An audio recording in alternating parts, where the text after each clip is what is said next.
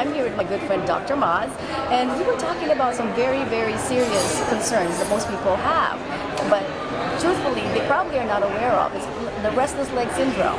And I have an eight-year-old boy, and bless his heart, absolutely adore him. And sometimes I like him to snuggle with me at night. But couldn't sleep, and he couldn't sleep. I see his misery, you know, when he keeps on kicking.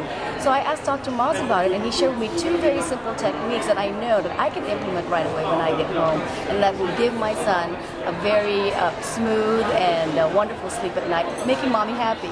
So anyway, Dr. Maz, an incredible man, a man of integrity. I highly recommend you make sure you find out what he's doing, where he is. Follow the link in this, and thank you, Dr. Maz, for that wonderful tip.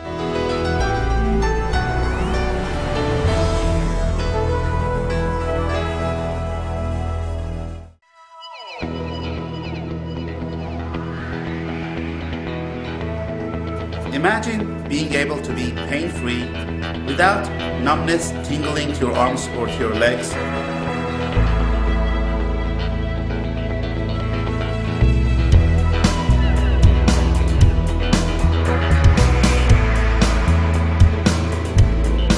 I help and enable people like you with families like yours to be able to live longer in this planet.